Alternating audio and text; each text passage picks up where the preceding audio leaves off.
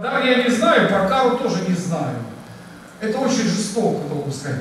Вы знаете, мой талант, это да. Если бы я услышал, что кто-то другой сказал, я сказал, ты сука. ну Второе, второе. Человек сидит, это я сейчас сыграл. Такая кара. Иметь такой талант, такой, я думаю, сука, это убью.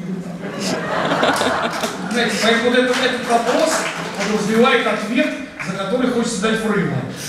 Нельзя отвечать на этот Могу сказать только одно. Если есть какой-то там и так далее, да, то прежде всего это ответственность. Вот это ответственность, это точно. Такое очень хорошее слово. Нельзя там очень многих вещей. Нельзя, нельзя выпивать, если хочешь, до концерта или после концерта.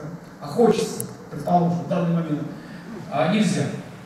А, в день концерта можно есть только курицу копченую, часа за четыре.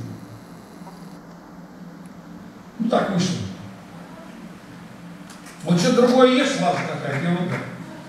Иван Семенович Козловский, с которым я случайно пересекся незадолго до его смерти, а, говорит, что вот он ничего даже не ест и не пьет, у него теплая вода.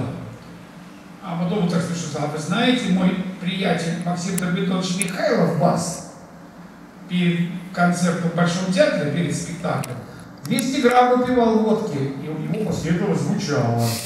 Если бы я, сказал я, Иван Семенович, выпил 200 грамм водки, я бы до сцены бы не дошел. Поэтому каждому свое.